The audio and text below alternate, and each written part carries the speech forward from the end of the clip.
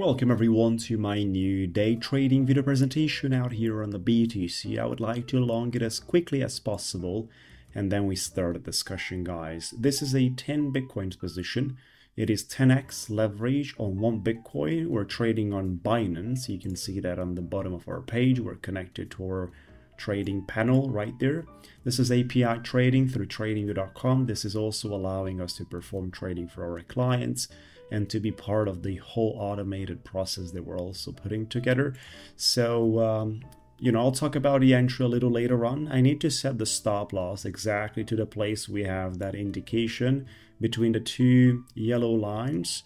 And then the take profit is between the two red lines in the highs out there.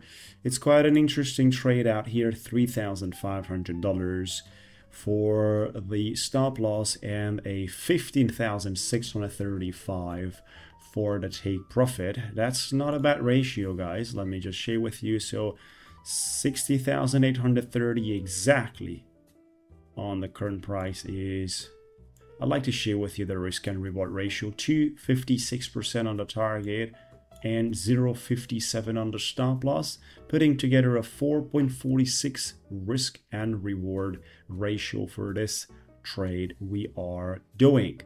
Now, what's happening? How do we perform? How do we act? It's just like I've been telling you in my other videos of other trades. Make sure to follow me, subscribe to see more of this. This is a most of a challenge basically to have people motivated around the topic and raise the alarm, raise the flags that it's not always green, it's not always the best out of the best, and you also have times with losses and difficulties. I did wanted to explain and share with you a real experience of how this trading looks like in reality, especially for the day trading side. Now, how do we entry? How do we set target stop losses? And why do we set at those levels. This is something I perform in the background. This is something that I also do my uh, complete technical analysis as well with the price action, including our ChatGPT bot that helps us. At the end of the day, we get to see automated this, uh, you know, six lines in our chart whenever we have the opportunity. They appear and it shows us where we should long, where we should put a stop loss and where we should exit out of longs or we should short depends on the situation where we have a good probability we go with that. Beautiful. It shows automated as soon as I approve basically the outcome. As soon as I approve basically the whole process, we get to see that message, which is, you know, partially, I could say, with manual inputs, but at the same time, it has some characteristics that are pretty automated. So this is where we are, folks. I mean, you know, the idea is quite simple. We're longing the current structure and we're aiming to sell in the highs. Um, for sure, I might exit a little later on with a uh, potential uh, smaller profit, maybe partially exit on 61 900s, maybe at that top right there if I get the opportunity to partially exit. And on top of that, if I get the opportunity basically to cross 61, if, if we close above with a good candle of five minutes above 61 300s, and I am available at the computer to do that action, I'd like to move my stop loss to my entry, right? I'd like to break even on the trade if the market, you know, actually wants to retrace like this. Not to end up in a minus because of another low, which could be created quite easily. Want to make sure that do not happens. I'd like to simply uh, raise the alarm in the safety side and take care about it in that way. However, there is a lot to go till that point. The market is not yet reversing at all. This is a five minute type of a trading. This is not really on the one minute candlestick that we're doing. It's five minute candlesticks or, you know, day trades that could be extended into swing trades. You know, in trading in crypto, especially on Binance, you don't need to close your trades at the end of the day. You can let them run for the upcoming days as well, weeks and months. No issue with that at all, guys. So this is the current context. That's my logic behind at the moment.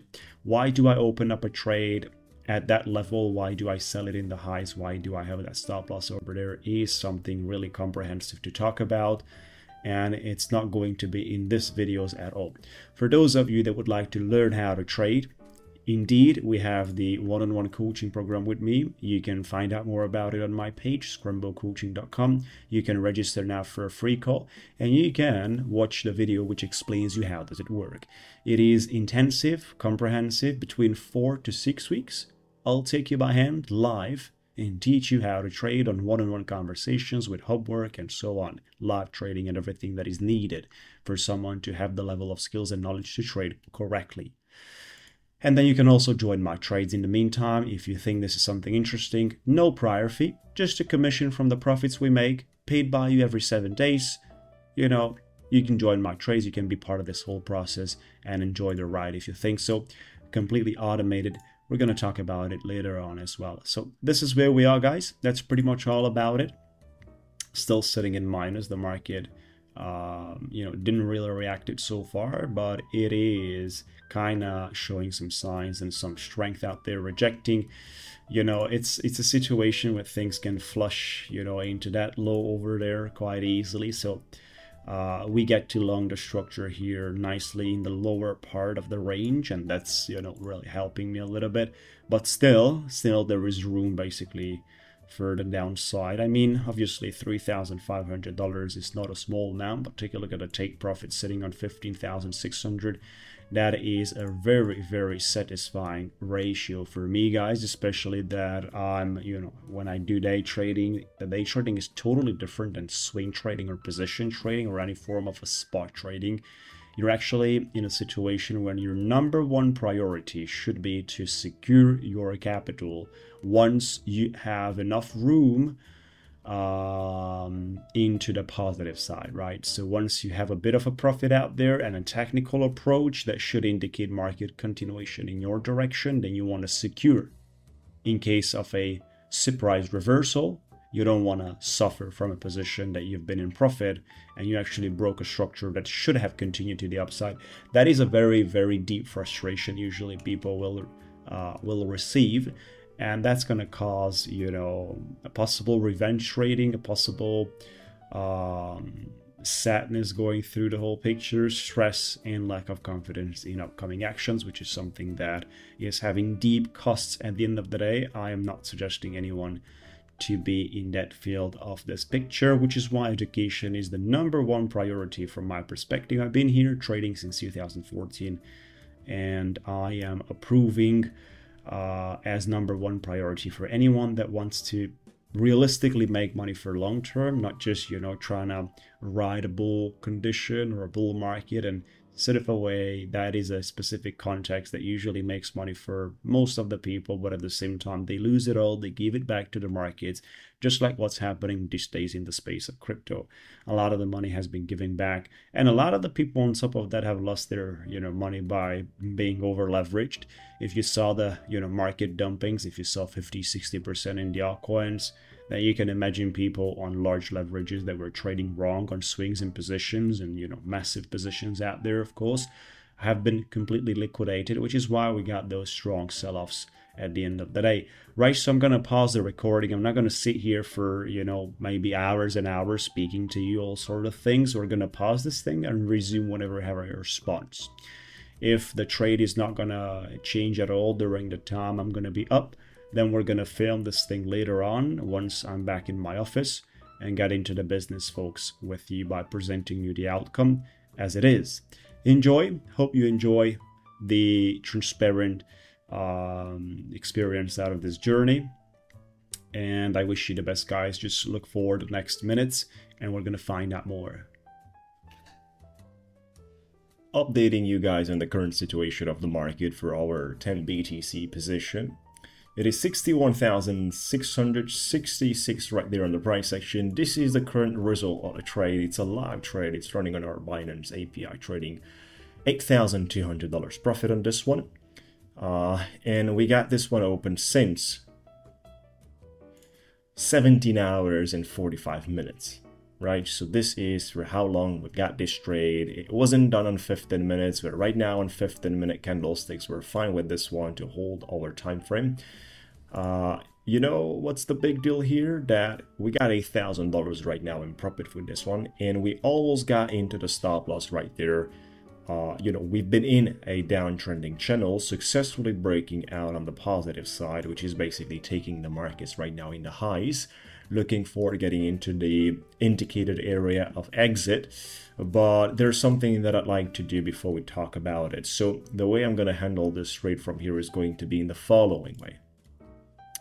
We're going to take our stop loss, which is set at minus 3,500. It was set in the lower range of the zone of the stop losses, and that's totally fine. So we're going to take that and put it slightly above the, you know, entry. Like, you know, right now the stop loss is $161 on plus, right? If we get to close our order at that price action, what am I going to do? We got, you know, what's that? 7200 right? So this you know almost $1000 wiped away since i'm filming. There's a bit of volatility here. Even though the position is large guys so it's obvious to see such numbers. We got 10 bitcoins in this position which means 600 thousand dollars we got basically a 10x leverage which is why we have one bitcoin margin into this. And the rest of that is completely leveraged. So what's the deal guys? Another $700 back on to 8000 on that one. You see the volatility and the way the numbers are moving around. The take profit is at 15 grand just like you saw earlier. So what am i going to do is i will exit five bitcoins out of this position which means i'm going to change the quantity to five and sell five bitcoins at this price action means four thousand dollars we're going to close and that's something that makes me really happy about it here we go beautiful guys now, what's the next deal here? 5 BTCs remaining active. If we get to touch that target, I'll get, you know, $7,817. If we get to get back to my entry, we're gonna close out on 80 bucks in profit and the rest of 40,000 which we have closed right now is already secured. Right, so right now at this price section, we're talking about the next thing. We got to secure 50% of 8,000 and we pretty much moved the stop loss slightly above the entry. There is a risk-free situation right now and I would like to trade in the following structure. We could attack basically even a higher level than that.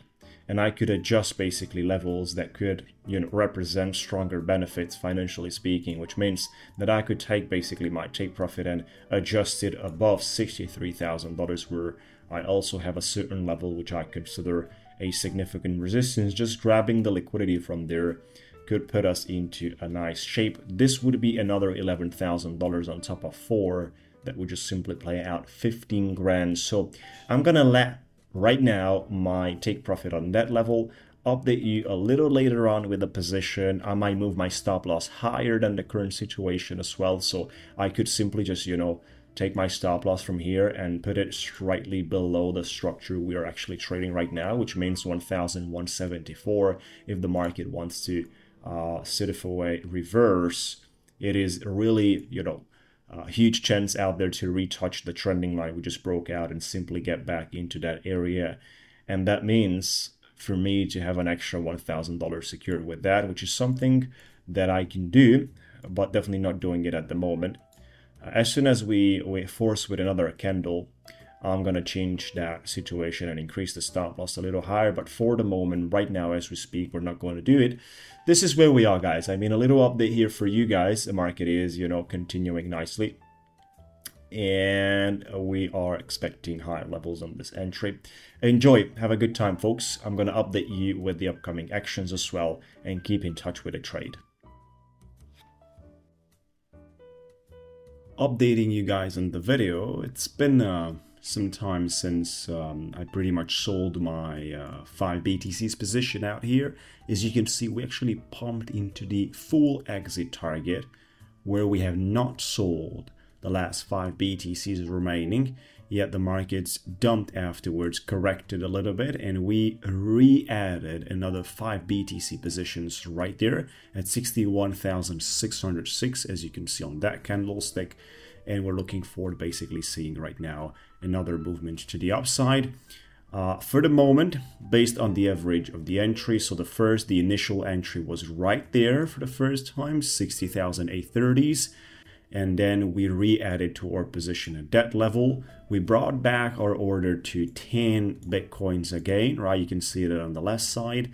Uh, the stop loss is set yet again above the entry price, above the new entry price, which is the average in between the two orders, which uh, right now sits uh, on a little profit out there. If we get to be stopped out, $140, uh, or I could simply close the order with $3,800 right now in pure profits on this particular part and have the other $4,000 that I've already secured when I sold 5 Bitcoins earlier. So this is where we are guys with the order. Not much to speak about, pretty much expecting for the market to have the ability to force at least for a double top, but in this case scenario would be a lot better for the moment to break out of that specific 60 to 400s, a level which just like been uh, recognizing it's pretty much holding the bar for the moment and it's not allowing the space. Crypto might need a little more liquidity here or there to take it to the highs.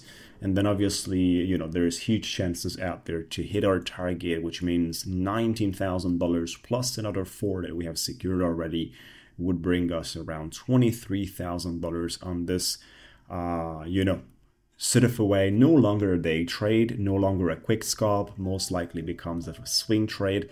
It is opened since 21 hours so far and it's running smoothly. Enjoy guys, I'm gonna update you in the next uh, you know session in the next situation whenever I have a bit of a time to record again jumping on a call with my students by the way, for those of you that would like to join my coaching, you can find out all the links, including for trading, in the description area and comments area. This is where we are at the moment in a uh, comfortable situation, guys. I don't mind if we touch the stop loss. I'm still going to have $4,000. I just want to make sure I take as much as possible out of a trade that could represent, after a strong sell-off in the space of BTC, could represent a stronger move to the upside, and that would be just great it's already moving. Look at that. We'll see the outcome, of course, no issue either way, which is why we have been uh, not selling totally at this price section, and yeah, we have been pretty much securing quite of a decent amount of money there. I prefer to let the rest of the trade active and risk a little more, or actually add a little more on it, right? Get back to our 10 BTCs and run for the big price because that's how you actually make a lot more than you lose when you lose, which is why I can have two or three stop losses touched and a single winner is going to pay even four or five stop losses sometimes, which is why in the long term we are pretty much beating the market and we trade on leverage so we make a lot more at the end of the day than lose. Enjoy guys. We're going to update you later on and see what's happening. Let's continue with the last update on the trade. This is where we are guys. So what happened is we got into another 5 BTC position, pretty much enforcing it after the markets had been retracing and uh, thought that we had a great possibility, a great ability out there to continue, right? Or just simply continue from here, which was a total failure. At the end of the day, we touched our stop loss at 61 220 and we have been uh, putting together the following results. The first long that we have closed at 61 639 right there was consisting 50% of our position that we got into at that level. So you're pretty much familiar with that. This represented $4,042. Then we re-added another 5 BTC, so we managed to get back into a 10 Bitcoins position and set the stop loss at the new level of our average of entry, which was pretty much at 61,220. We closed that one on $18 profit as well. If you cut out the commission, that's a bit of a minus over there indeed.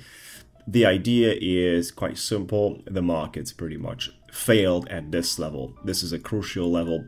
It failed over there and then it had a retracement and even here the failure is not missing to appear so then you pretty much fall into the structure of liquidity which is taking out the inefficiency from the zone and it's no longer allowing you to breathe I was having a chance to sell here in the highs, indeed. If I would have monitored the position actively and constantly and non-stop, then you have that chance. If you don't monitor and if you don't have anything automated to sell at that level, of course, you just cannot. Utilizing a trailing stop loss is something that I'm not doing because it's not efficient and it's definitely a very good service offered by the exchanges in order to make more money. Uh, I'm not down to that. So the idea is quite simple uh, you know, if we wouldn't had, and this is another thing to point out, very important, if we wouldn't had our stop loss increase to our entry, we would have had hit basically our stop loss zone and ended on this trade on complete minus.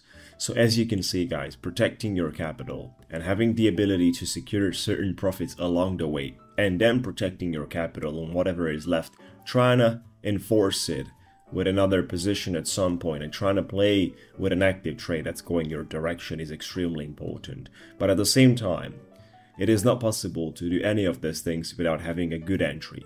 So the whole business model, which is the trading, is constantly uh, conditioned by a good entry. With a wrong entry, you're not going to have the ability to increase your stop loss and become a risk-free concept, and then at the same time taking profits partially at levels that are significant, you're not going to have that ability as well. So that is a big, big problem out there. Once again, folks, $4,000 secured on this trade. Uh, not bad.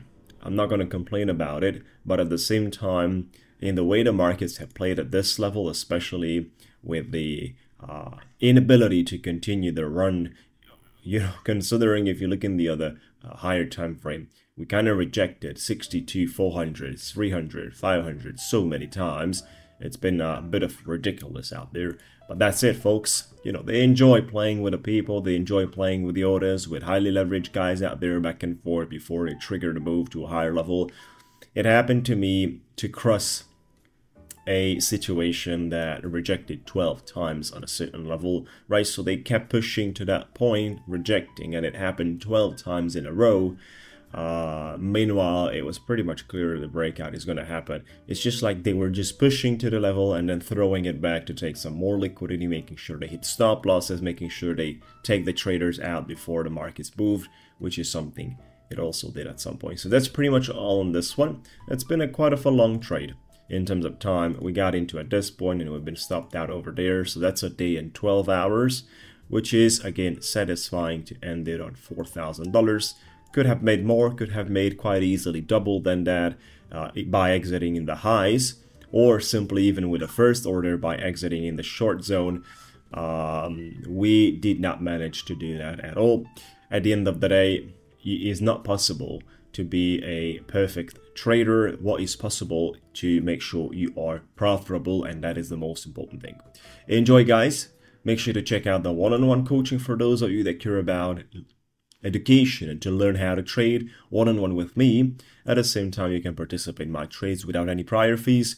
You can check out all the links in the description area. Just complete the forms and just risk for a free conversation with me. Enjoy, guys.